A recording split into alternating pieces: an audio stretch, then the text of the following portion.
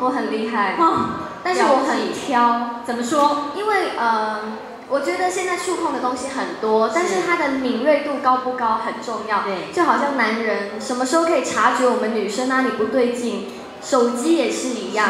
察觉到我们的那个指腹按到它的时候，它立刻可以回应，马上灵敏的达到你要的需求。对，那我觉得 X6 它的灵敏度就是不在话下，其实这个是真的，我跟大家保证，我觉得它很棒的地方就是它不迟钝，不迟疑。尤其是我们这种传简讯的快手，是。最讨厌拖拖拉拉的那种简讯。对。就像你写完之后还要等它隔在零点几秒，它才会感应得到。对，而且它的手写功能其实非常棒。那当然，我讲的都是基本功能。那另外就是我觉得它很棒的东西。其实它里面有内建一些非常棒的下载，所以我觉得它真的是可以陪伴我们度过很辛苦的等戏的时间啊，或者是我们有时候在车上啊等通告，其实是很无聊的，真的就可以陪我。